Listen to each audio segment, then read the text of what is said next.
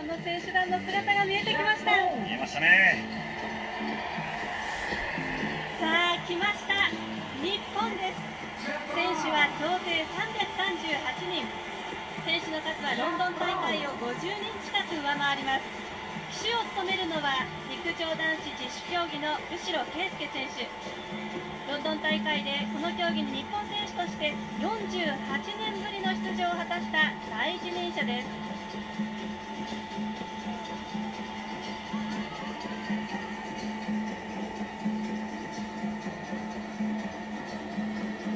の選手たちも見えますね、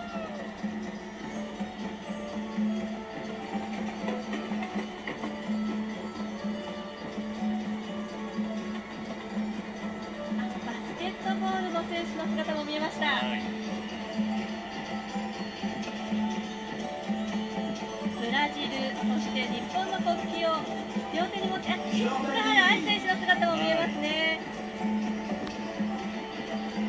への歓声が大きくて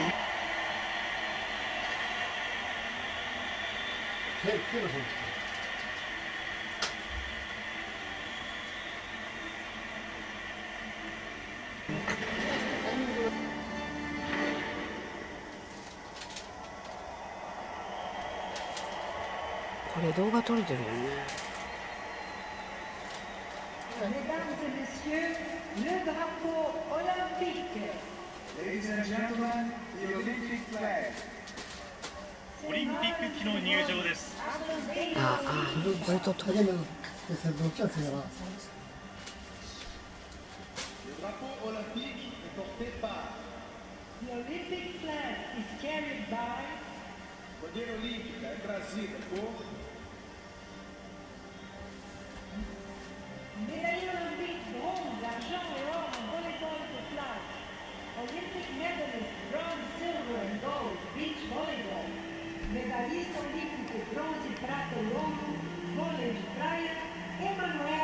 シュバの金メダリストエマヌエル・ヘモさん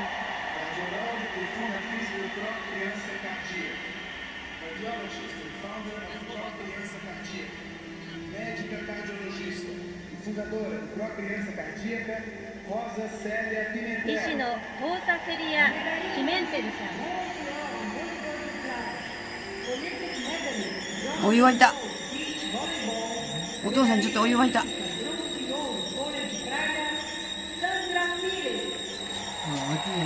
おビーチバレーの金メダリストサンドラ・ピレス・タバレスさん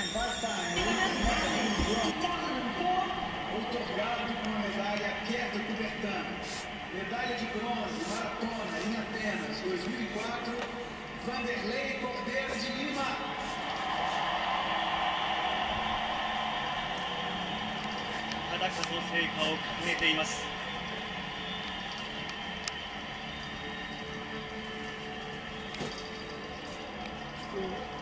これが聖火台でしょうか、リ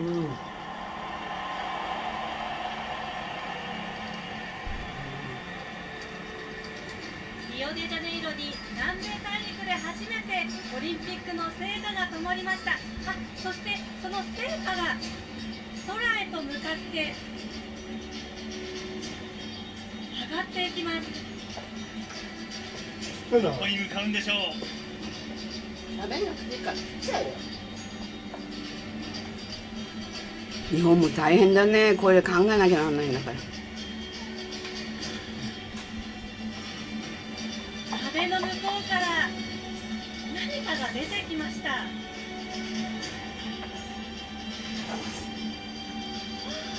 聖火を取り囲む巨大な彫刻です。すごいね。生命の源太陽を象徴しています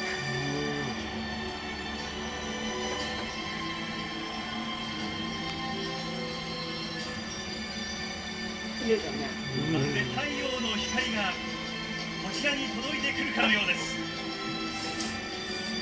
キラキラと会場を照らしています撮ってるよ今回の聖火台はこれまでの大会よりも小さな炎です環境に配慮し燃料を抑えています今回のオリンピックを通じて球の未来を世界の皆で考えてほしい。そんなメッセージを込めています。回ってるな。まあ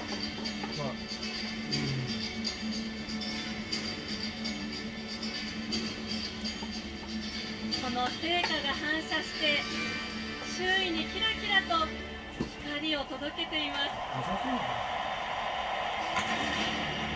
おーおーおーおーおーおー。2016年オリンピックが開幕しました。今年に入り日本では大きな災害そして世界に目を向けるとテロが相次いでいます。スポーツと平和の祭典オリンピック。この開会式に込められていたように私たち一人一人が平和について考えるきっかけにもしたいのです。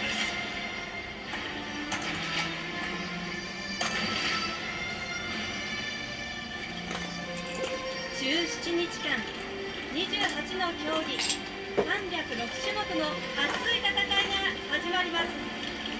選手たちが躍動するブラジルの大地に一体どんなドラマが生まれるのでしょうか。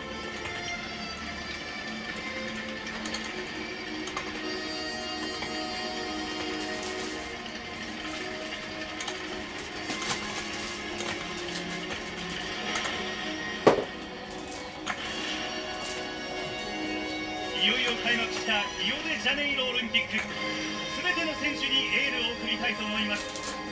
頑張れ世界の